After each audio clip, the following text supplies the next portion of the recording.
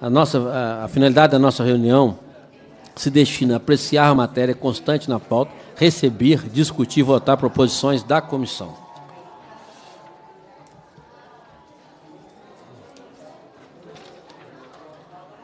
Passe a prim...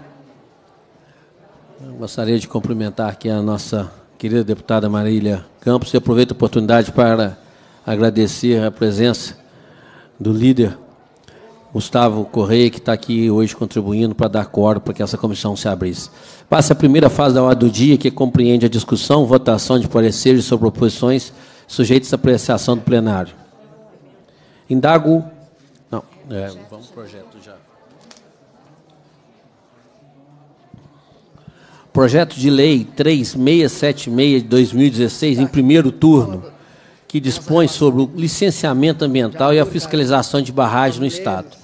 Esse projeto é de autoria da Comissão Extraordinária das Barragens e tem como relator o deputado Tiago Cota. Eu indago ao ilustre relator, deputado Tiago Cota, se está em condições de emitir o seu parecer. Com a palavra, deputado Tiago Cota. Em condições, presidente. Com a palavra, o deputado para fazer a, a, sua, a apresentação do seu parecer. Senhor presidente, Antes de ler o parecer, eu gostaria de destacar alguns pontos, entre vários outros, abarcados pelo PL 3676 de 2016, que garantem mais segurança aos empreendimentos de barragem no estado de Minas Gerais. Alguns deles não poderia deixar de exemplificar para cada um de vocês: o fim da possibilidade de emissão concomitante de licenças, a proibição de instalação a partir desta lei de barragem pelo método de alteamento a montante a contratação de seguro ou outra garantia, desde que haja modalidade no mercado. A nova legislação busca viabilizar no licenciamento ambiental a discussão sobre alternativas técnicas ou locacionais à instalação de novas barragens. Gostaria de frisar ainda a participação e o apoio de todos os colegas desta comissão na construção de um projeto que seja factível e, sobretudo, o um marco de uma nova era para a mineração no Estado, no que tange à utilização de estruturas de barragem. A deputada Marília apresentou três emendas, das quais acredito que grande parte já esteja com, com, contemplada no nosso parecer. Vamos a elas. A emenda que trata de calção já existe conceituada como seguro ou outra forma de garantia, desde que haja no mercado. Por isso, acredito que ser, ser dois temas que tratam das, de, de questões similares. A emenda que trata da proibição de emissão concomitante de licenças já está no nosso parecer, inclusive foi uma sugestão de redação dada pelo Ministério Público. A parte que trata da proibição, a de referendo, sugiro, caso a deputada aceite, aprofundarmos essa discussão oportunamente. Por fim, a emenda que contempla, no estudo do impacto ambiental, os aspectos relacionados às condições socioeconômicas das mulheres foi absolvida na íntegra pelo nosso substitutivo. Portanto, e tendo em vista que as emendas da deputada Marília Campos foram contempladas, peço a Vossa Excelência, deputada, que as retire com o compromisso de discutirmos o tema de referendo com o governo oportunamente. É, senhor deputado, eu, Era isso que eu queria solicitar, que o senhor lesse o relatório para poder apreciar. Passa a palavra para Aqui também destacando, presidente, nós estivemos juntos com o representante do Ministério Público, Rômulo Ferraz. Rômulo foi é, um grande parceiro na elaboração do, do, do, nosso projeto. Tivemos juntos na AMIG, pessoalmente, com nossa deputada Marília, com o deputado Glegon Franco, onde as demandas da associação estão todas elas atendidas no nosso relatório, buscando, juntamente também com a SEMAD, um, um entendimento que possa abarcar todas as tendências em nosso relatório. De autoria da Comissão Extraordinária das Barragens, a proposição em epígrafe dispõe sobre o licenciamento ambiental e fiscalização de barragens no Estado. A Comissão de Constituição e Justiça concluiu pela juridicidade, constitucionalidade e legalidade da matéria na forma do substitutivo número 1, que apresentou. Por decisão da presidência, foi anexado o proposto o projeto de lei número 16, 169 eh, de 2015, resultante do desarquivamento do projeto de lei 579 de 2011, requerido pelo deputado Paulo Lamac, que estabelece diretrizes para a segurança de barragens e de depósitos de rejeitos e resíduos minerários e industriais, ao qual, por sua vez, haviam sido anexados ao projeto de lei número 3056 de 2015, do deputado Alencar da Silveira Júnior, que dispõe sobre a proibição e utilização de barragens de resíduos no Estado. O projeto de lei número 3105 de, de, de 2015 do deputado Felipe Thier, que dispõe sobre a obrigatoriedade de instalação de sistema de alarme e monitoramento em todas as barragens e represas existentes no Estado de Minas Gerais. O projeto de lei número 3.106 de 2015, do deputado Fred Costa, que obriga as empresas mineradoras instaladas no Estado a implantar sistema de sirenes de alerta para o risco de acidente e da outras providências e o projeto de lei número 3146 de 2015 do deputado Irã Barbosa, que torna obrigatória a utilização do método de empilhamento a seco que, para disposição de rejeitos da mineração no Estado.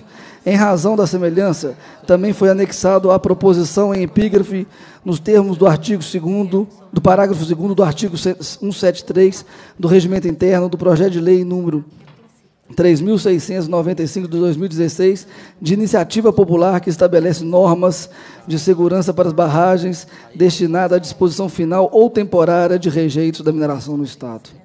Vem agora a proposição a esta comissão para receber parecer junto ao mérito dos termos do artigo 188, combinado com o artigo 102, inciso 8 do Regimento Interno. O projeto de lei número 3.676 de 2016 objetiva regular o licenciamento ambiental e a fiscalização de barragens, pretendendo ser o novo marco regulatório no Estado para o controle e a supervisão destas estruturas. A matéria em análise foi proposta junto ao PL 3.677 pela, Constituição extra, pela, pela Comissão Extraordinária de Barragens, que teve por objetivo debater as causas que levaram a barragem de fundão da empresa Samarco Mineração a se romper e provocar um dos maiores desastres ambientais da história do Brasil, em novembro de 2015. Aqui quero destacar a figura importantíssima no relator do, do, do, da, da, Comissão das Barragens, Rogério Correia, que também contribuiu muito para o nosso relatório nessa pauta. Ainda hoje, o município de Mariana, onde está situado o empreendimento, vive em compasso de espera ao mesmo tempo que tenta curar as enormes cicatrizes deixadas pelo desastre, sofre com uma redução expressiva em sua arrecadação financeira para a paralisação da Samarco, pela paralisação da Samarco, sua principal fonte de renda. O desemprego provocado pela descontinuação dos contratos da empresa com terceirizadas e a redução do seu quadro de funcionários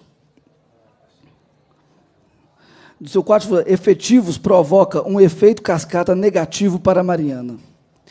Com o fechamento de pontos comerciais, com o fechamento de empresas, a demanda em mais empregos, redução da arrecadação por meio de impostos de serviços, entre outras consequências. Os impactos ambientais, sociais e econômicos fora da órbita de Mariana foram gigantescos, atravessaram estados, impactaram a vida de milhares de pessoas, provocaram danos que ainda não foram totalmente dimensionados. A Comissão das Barragens examinou, dentro das limitações que a, que a situação impunha, todos os laudos periciais pela Polícia Civil e Federal e os relatórios do IBAMA, DNPM, do Ministério Público do Estado e Federal e de outras organizações públicas e privadas. Baseando-se em todos esses documentos e no histórico de desastres ambientais provocados por outros empreendimentos minerários industriais e verificando a legislação existente, entendeu o conjunto dos deputados que compôs aquela comissão extraordinária ser necessário apresentar um novo modelo de licenciamento ambiental e fiscalização das barragens.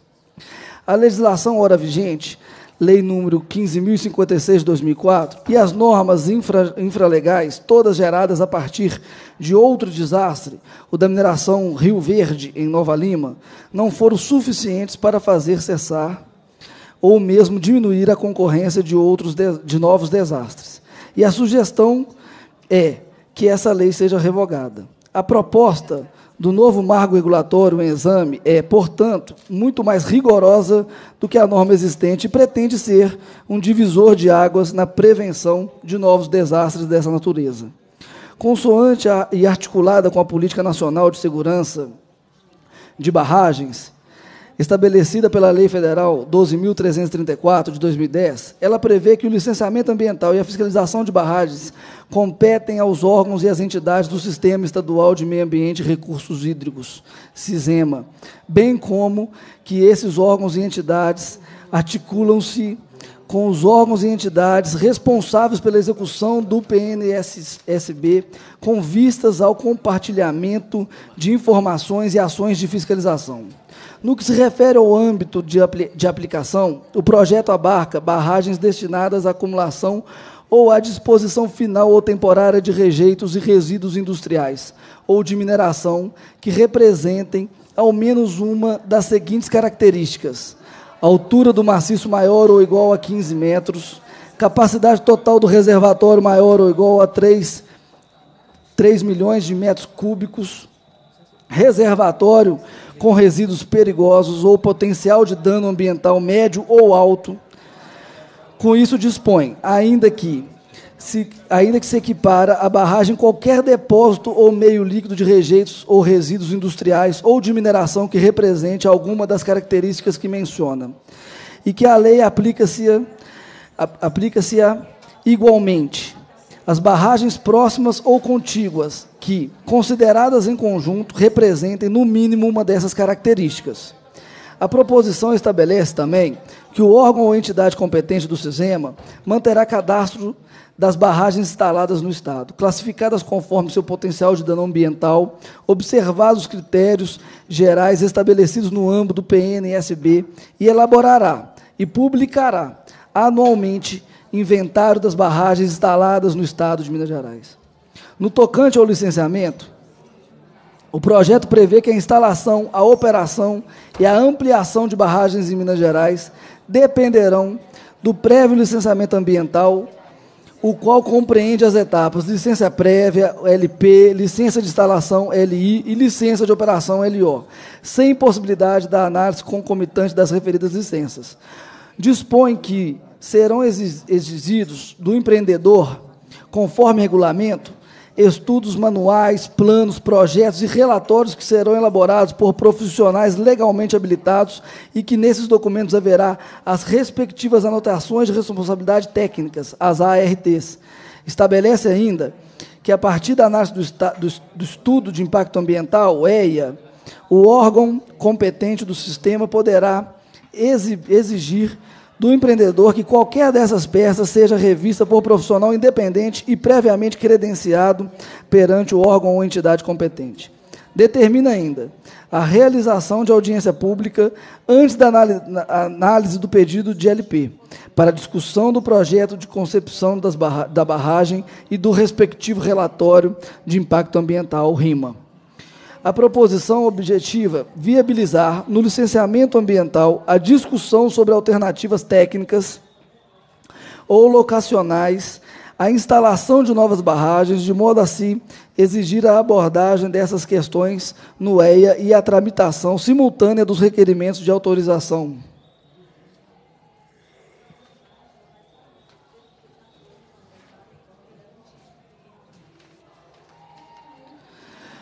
Ou concessão de lavra e da, e da LP. Atendendo a pedido da deputada Maria Campos, o projeto avança de forma a contemplar, no estudo do impacto ambiental, os aspectos relacionados às condições sociais e econômicas das mulheres. Além disso, destina espaço e tempo a elas em audiências públicas realizadas no, no âmbito de licenciamento ambiental das barragens. O projeto detalha o conteúdo do plano de segurança de barragem e exige sua emergência e exige sua apresentação junto ao pedido de LO. Prevê a elaboração e implantação do Plano de Ação de Emergência, PAI, de forma articulada com o Sistema Nacional de Proteção e Defesa Civil, SIMPDEC. A partir da aprovação desse projeto, fica ainda proibida a construção no Estado de Minas Gerais de novas barragens com o método de alteamento a montante, como era a barragem de Fundão e tantas outras que já se romperam. Os órgãos ou entidade competente do sistema poderá solicitar do empreendedor a realização de autoria técnica extraordinária de segurança em relação às barragens instaladas no Estado até a data da publicação desta lei e que utilizem ou tenham utilizado este método de alteamento. O projeto de lei, se aprovado, imporá ao empreendedor a contratação de seguro de responsabilidade civil com o propósito de garantir a obrigação de recuperação do ambiente, inclusive no caso de sinistro. Neste aspecto, propusemos uma alteração da redação, tendo em vista informações de que essa modalidade de seguro talvez ainda não esteja disponível no mercado. Outra alteração proposta foi a de deixar para o âmbito do licenciamento ambiental a definição da área ajustante, ajustante das barragens, onde não deve haver ocupação humana ou manancial destinado a abastecimento público, uma vez que as variáveis possíveis em cada empreendimento não são passíveis de serem previstas generalizadas nesse, nesse, nesse, no presente texto. No que tange à fiscalização, a proposição reafirma o princípio de responsabilidade do empreendedor pela segurança da barragem, atribuindo aos órgãos ou entidades competentes do sistema a função de orientar e acompanhar suas ações e obrigações, entre as quais destaca a apresentação de declaração de condição de estabilidade da barragem, a partir da atualização constante do plano de segurança de barragem e da realização periódica de autoria técnica de segurança. Nas disposições finais, o projeto trata da responsabilidade administrativa decorrente de suas disposições, bem como da responsabilidade objetiva do empreendedor pela reparação dos danos causados pela instalação e pela operação da barragem, bem como pelo seu funcionamento ou rompimento. Trata ainda da majoração em até 100 vezes da multa administrativa decorrente do descumprimento da lei, em caso de desastre ambiental. Verifica-se, por outro lado, que várias inovações previstas na proposição em análise coincidem com propostas constantes do projeto de lei número 3695 de 2016, de iniciativa popular, que foi anexado ao projeto ora examinado. Entendemos, assim, que aquela proposição encontra-se praticamente incorporada nessa, pelo que devem mesmo ser analisadas conjuntamente pelas comissões de mérito competentes. Similarmente, podemos afirmar que o projeto contempla o conteúdo dos projetos de lei número 3.105 de 2015 e 3.106 de 2015, além do princípio norteador do projeto de lei 169 de 2015, qual seja a articulação do Estado com o PNSB. Acrescentamos que essa matéria foi amplamente debatida por essa Comissão de Meio Ambiente e Desenvolvimento Sustentável em audiência na data do dia 28 de junho, na, 28 de junho do corrente, na oportunidade, representantes da Secretaria do Estado de Meio Ambiente e Desenvolvimento Sustentável, do Ministério Público Estadual, do Sindiestra, da Associação Brasileira de Recursos Hídricos e da FAPEMIG, da Associação dos Municípios Mineradores de Minas Gerais, AMIG, e da Associação dos Municípios da Região Metropolitana, Grambel. Puderam expor seus pontos de vistas analisar o conteúdo do presente projeto de lei e reafirmar a necessidade de que aprovemos um novo marco legal que norteie o licenciamento de empreendimentos minerários ou industriais do Estado, nos casos em que prevejam o uso das barragens. A comissão fez ainda visita técnica à MIG no dia 31 de agosto último, oportunidade em que esta entidade expôs ao, de, expôs ao deputado Gleicon Franco e a este relator sua preocupação com a questão minerária no Estado e se dispôs a encaminhar sugestões para o projeto. Apesar de não ter a, a, a, havido tempo hábil para encaminhamento das referidas sugestões, ressalte-se que este relator, em contato com a direção da MIG, apurou o pleito da, associa... apurou o pleito da associação e encontra-se atendido pelas modificações aqui propostas. Cumpre ressaltar, finalmente, a particular relevância do tema para o Estado de Minas Gerais, que é, de longe, o Estado que apresenta o maior número de barragens de rejeitos ou resíduos industriais ou de mineração no país, conforme consta no relatório de segurança de barragens de 2015 da Agência Nacional de Águas. Por isso, temos o dever de promover técnicas mais modernas de construção de, barra, de barramentos e alternativas viáveis e mais benéficas ambientalmente para tal. Ao fim propusemos um substitutivo ao texto aprovado pela Comissão de Constituição e Justiça para adequá-lo às alternativas mencionadas no texto acima. Como conclusão, pelo exposto, somos favoráveis à aprovação do projeto de lei número 3076 de 2016, da forma do substitutivo número 2.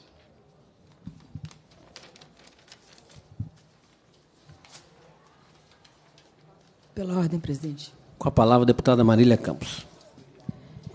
Eu quero cumprimentar o deputado Tiago Costa, pelo.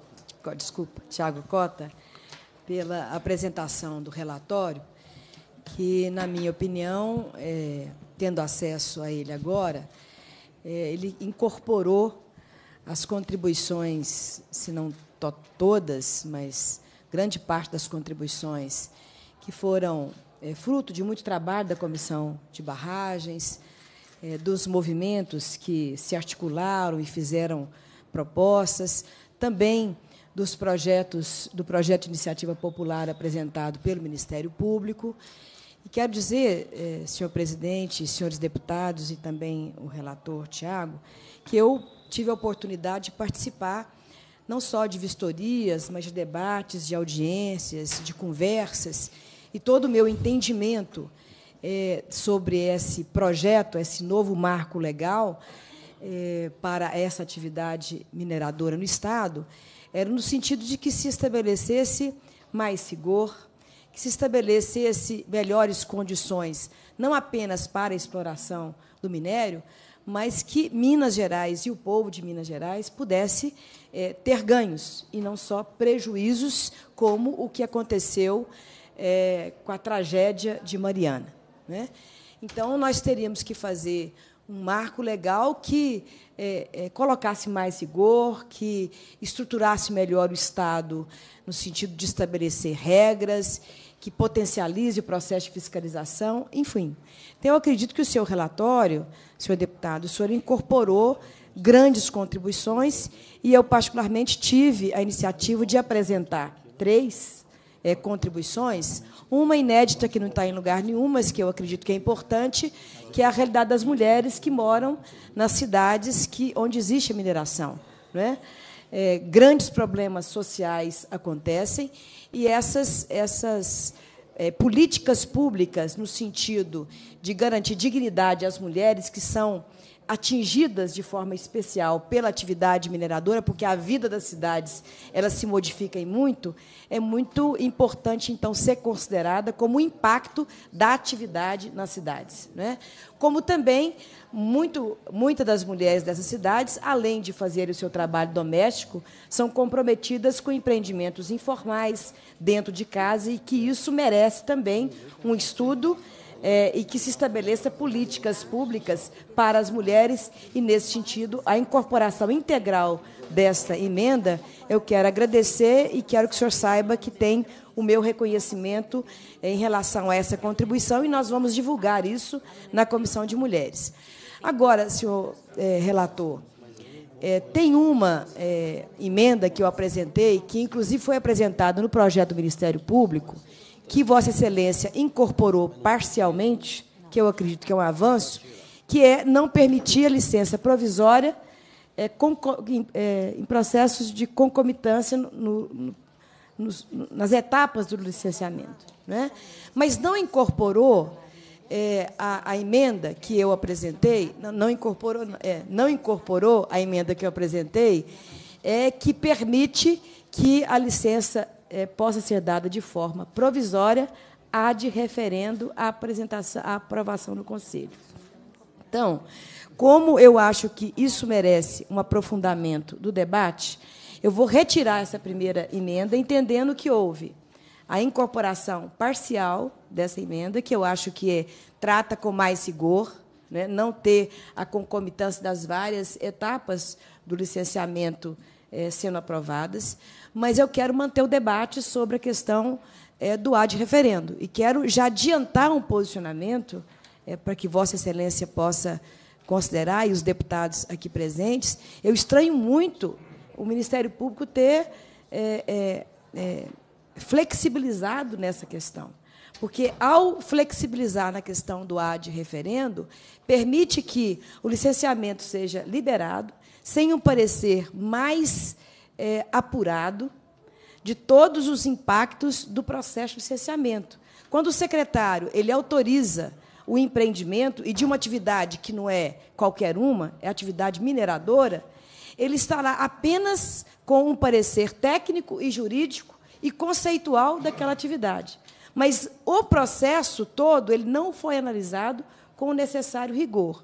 Então, vejo uma incoerência. Se nós estamos aqui aprovando um projeto que é para garantir mais rigor, para que essa atividade seja realizada com mais segurança para a população, para a cidade, seja avaliado devidamente os impactos, por que manter ainda essa figura do ad referendo? Então, eu acho que isso é, é, é, é expõe muito é, o executivo, que vai estar é, licenciando ou aprovando, aprovando não, aprovando uma licença provisória, sem considerar todos os impactos de forma aprofundada, com rigor técnico de todo o processo de licenciamento, e tem aquela história, né?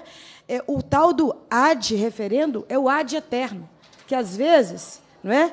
Deu lá o ad referendo, a obra, a, a operação começa a ser é, realizada e depois não se tem o compromisso de pautar aquilo numa reunião do Copom para, de fato, avaliar todo o processo de licenciamento. Então, eu creio que isso é um risco para quem é secretário de Estado, inclusive, porque ele bota lá o ad referendo, mas ele será responsabilidade, responsabilizado se tiver qualquer problema é, na atividade essa atividade em particular, que é a atividade mineradora. Então, eu acho que manter essa figura do ad referendo é uma contradição é uma incoerência com os objetivos que foram colocados para a construção desse marco legal, que é exigir mais rigor. E rigor, deputado, na minha opinião, é a gente avaliar profundamente os impactos da atividade e exigir as contrapartidas necessárias para assegurar que se tenha segurança na exploração do minério, para que a gente não conviva com mais tragédias como aquela que a gente teve em Mariana. Então, eu estou retirando essa emenda, na expectativa de ainda apresentá-la em segundo turno e no plenário, e a gente aprofundar esse debate com todos e todas que quiserem conversar sobre esse assunto. Obrigada. É, deputada Marília, para é, melhor entendimento dessa presidência, é, Vossa Excelência, então, é, retira a emenda número 1, a proposta de emenda número 1, que é a. Que é, é, a emenda de número 1. E. Isso. É, é, Isso e, mesmo. E as outras eu mantenho porque entendo que elas foram incorporadas é, integralmente. Mantém a, a emenda. Eu vou suspender a reunião para melhores entendimentos. Como é que é? Você retira ela, ela tem incorporada no projeto.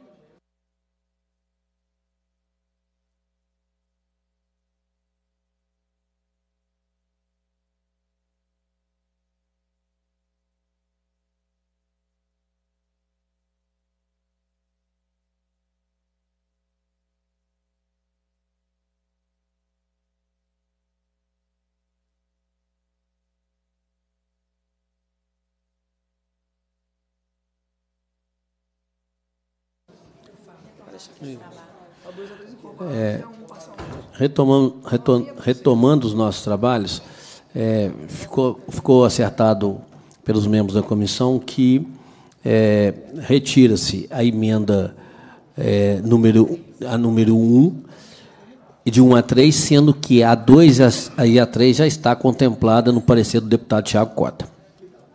Pela ordem, presidente. Com a palavra, a deputada Marília Campos. É, a gente só tá, fez um acerto aqui de entendimento, de compreensão, isso mesmo.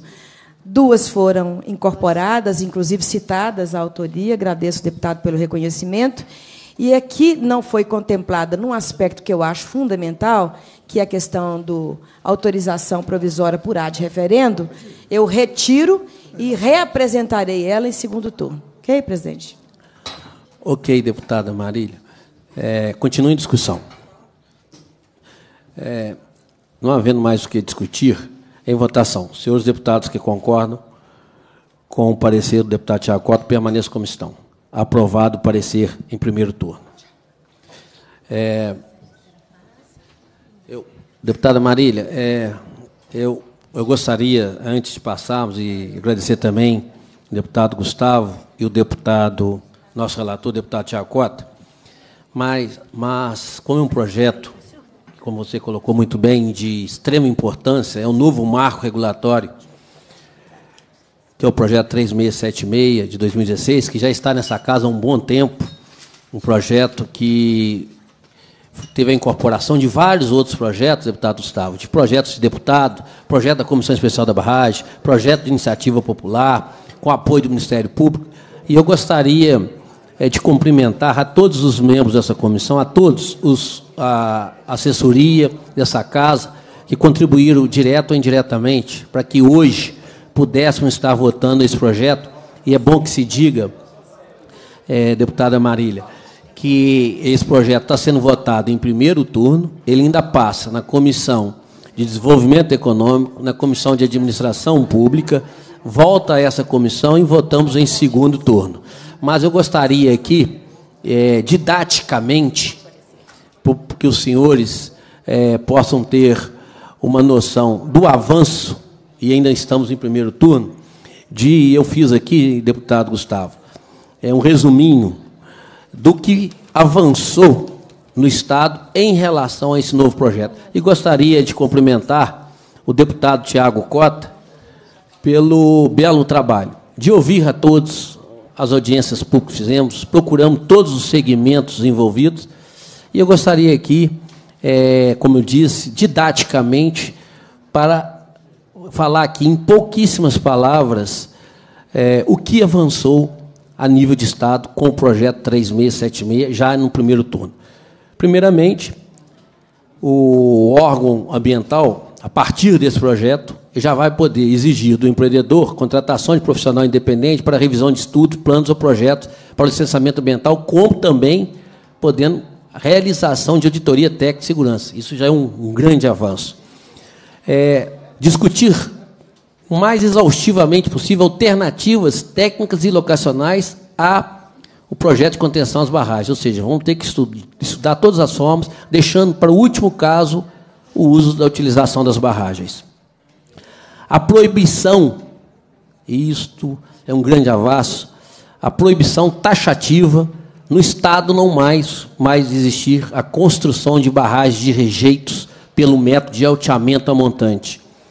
A obrigação é, genérica, deputado Gustavo, isso antigamente não existia, era só nas barragens de alto risco, que agora não, vai ser, é, a exigência vai ser de todas, de elaboração e implantação de um plano de ação de emergências para o licenciamento ambiental das barragens, através de instalações sirenes ou outras soluções tecnológicas mais avançadas a obrigação de contratação de seguro de responsabilidade civil, a majoração em até 100 vezes do valor atual de multa administrativa decorrente do descumprimento da lei em caso de desastre ambiental. Esse, em, resumido em poucas palavras, já, já, é, já são, ou seja, de tudo que nós discutimos, deputado Gustavo, posso afiançar aqui quase 90% dos pleitos das audiências foram atendidos pelo parecer do deputado Tiago Cota. E por isso eu gostaria de cumprimentá-lo e a todos que contribuíram direto ou indiretamente para que esse pudesse já conseguisse, nesse primeiro turno, já ganhar essa dimensão e esta inovação, trazendo mais segurança e tranquilidade às famílias mineiras. Passa-se a terceira fase da ordem do dia. Presidente. Com a palavra, o deputado Tiago Cota. É, eu gostaria, de forma muito breve, só dividir os cumprimentos com toda a nossa equipe da comissão, nossos é, apoiadores do gabinete também, que estiveram a, a, com grande afinco envolvidos nessa, nessa, nessa matéria que é tão importante para Minas Gerais. Cumprimentar os deputados, membros efetivos desta comissão, Dilson Almeida, que não está aqui presente, mas foi um grande companheiro nessa caminhada, Geraldo Pimenta, Marília Campos, e de forma muito especial, cumprimentar o senhor, nosso presidente, que esteve conosco em todas as etapas para que a gente pudesse entregar um relatório, no meu ver, um relatório que contempla todos os segmentos e, sobretudo, quem sai ganhando com este relatório é, é, é, a população mineira e, sobretudo, a população que vive em áreas, em locais que é extraído a mineração em nosso estado. Obrigado, deputado Tiago. É, Passa-se a terceira fase da ordem do dia, que compreende o recebimento, discussão e votação de proposições da comissão. Não havendo, indago. Com a palavra, o deputado Tiago. Me perdoe, mas é de forma muito breve. Eu queria aproveitar este momento para também é, cumprimentar aqui, aproveitar a presença, a presença de um empresário marianense, que é o André Mol, que está aqui conosco. É um empresário da nossa terra, que presta serviço para empresas mineradoras, mas que, sobretudo, foi amplamente impactado, não só ele, como tantos outros, com a queda da barragem em Mariana. Nós estamos numa luta muito grande, porque nós vemos em Mariana, infelizmente, o desastre ocorreu, a Renova, a Fundação Renova foi criada com o intuito de trazer condições, de trazer segurança para que a cidade possa voltar a progredir, voltar a crescer, não só questões de arrecadação para o município ou para a prefeitura, mas sim também geração de emprego, de renda para toda a nossa região. E a gente sabe que geração de emprego e renda se dá pelos empresários de nossa cidade, de nossa região. Empresários que são trabalhadores, que são empreendedores, que têm na alma a vontade de empreender e de fazer algo diferente em nossa cidade. E, infelizmente, nós estamos vendo a Fundação Renova não ter um olhar de boa vontade para a nossa cidade.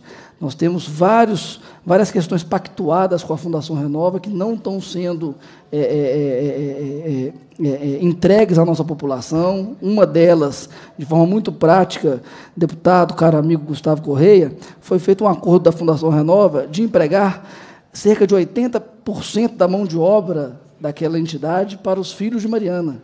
E eu tenho certeza que hoje nem 20% da Fundação, da Fundação Renova é, é servida por marianenses. E é para nós motivo de muita tristeza. Mas nós vamos transformar a nossa tristeza é, é, em muito trabalho dentro dessa comissão e dentro desta casa, que é representante do povo mineiro, e, sobretudo nós que representamos Mariana, não vamos deixar de ser ouvidos. Eles não deixarão de ser ouvidos. Então, nós buscamos aqui uma audiência pública, eu deixo aqui minha sugestão para que a gente possa debater, uma audiência pública da Assembleia Legislativa, seja aqui, seja em Mariana, em Loco, para que a gente possa trazer a Fundação Renova, para que ela possa prestar esclarecimentos. De forma informal, caro presidente, me foi dito, deputado amigo Gustavo, que a Fundação já gastou cerca de 3 bilhões de reais em Mariana. Nenhuma casa popular foi construída. As pessoas ainda moram de aluguel, os projetos que estão sendo feitos ainda não foram concluídos, nós não temos clareza na negociação com a Fundação Renova. Essa insatisfação não é desse deputado, essa insatisfação é de todo o município de Mariana. E nós vamos continuar lutando. Vamos chegar até as vias de fato, se for necessário, porque essa casa tem condições de cobrar, de fiscalizar, com vários mecanismos, inclusive Vamos aqui citar um mecanismo que a gente sabe que é um mecanismo último, mas que, se for preciso, usaremos, que é de buscarmos assinaturas para a criação de uma CPI, para que a gente possa ter acesso à caixa preta da Fundação Renova, que ninguém consegue ter acesso. Seja na Câmara Municipal de Mariana, como foi feito, muito bem feito, ontem, uma grande audiência pública para debater e nada foi respondido pela Fundação, seja nessa casa. Nós vamos buscar, é, é, de forma muito eficaz e rápida, o, é, é, as respostas que estão sendo exigidas da população marianense. Indago senhores deputados se há ainda alguma matéria a ser apresentada nessa fase. Não havendo,